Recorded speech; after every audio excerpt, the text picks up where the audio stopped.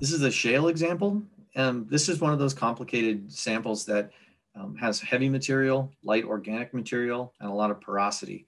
Um, shale is notorious for redeposition, so it creates a lot of material that builds up in the front, and we have to come up with creative ways to prepare the sample. And in this reconstruction, when you watch it, you'll see some little fossils go by. I think one of them goes by right around here.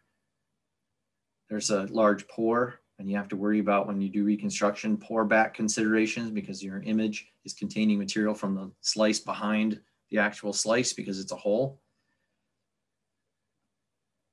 And then as we reconstructed, you can see where I paused the project at two different points and was adjusting things because I wanted to change the resolution or there was redeposition material building up because the way I prepped it. The slice and view process is fairly robust that if in the middle of the project there's an issue with the sample, you can pause it, clean something up using the normal dual beam properties, and then just restart the project. That fiducial allows you to recover these projects very easily.